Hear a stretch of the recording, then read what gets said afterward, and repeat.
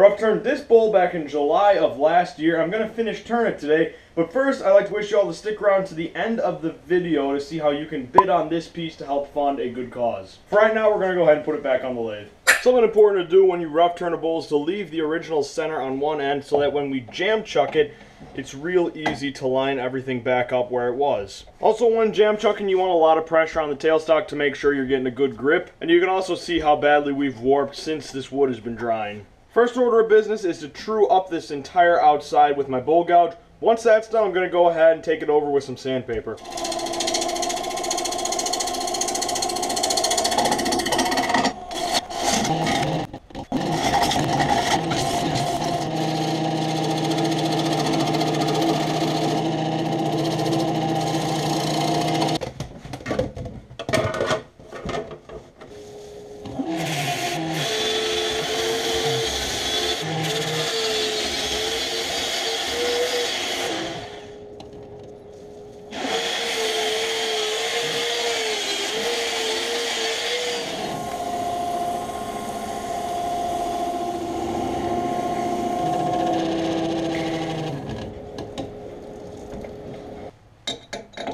Okay, so we can take out the jam chuck now and put the bowl in the chuck. We can put our tool rest back in and go ahead and finish turning out the inside.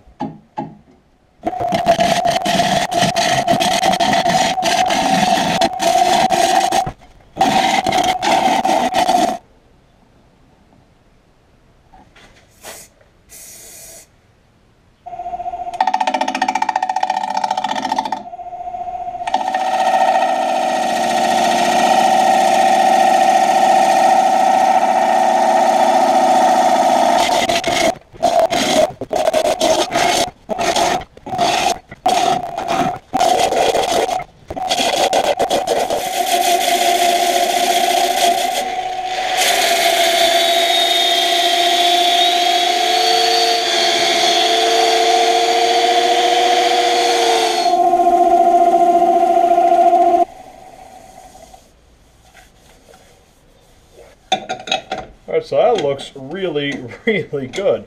Go ahead and take it out of the chuck now. I'm going to flip it around on a jam chuck and turn off the foot.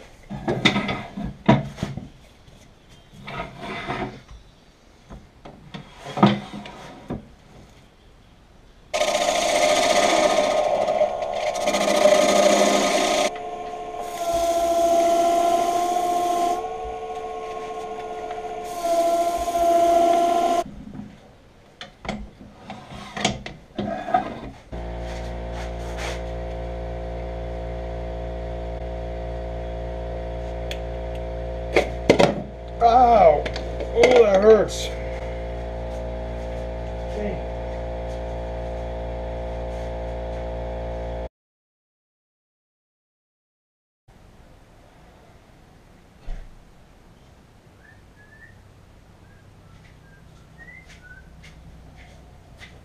Okay, I am back.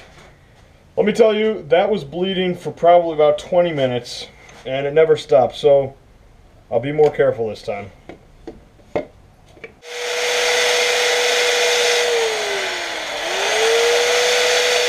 Got a pen here, I'm just going to go ahead and sign and date it. There it is.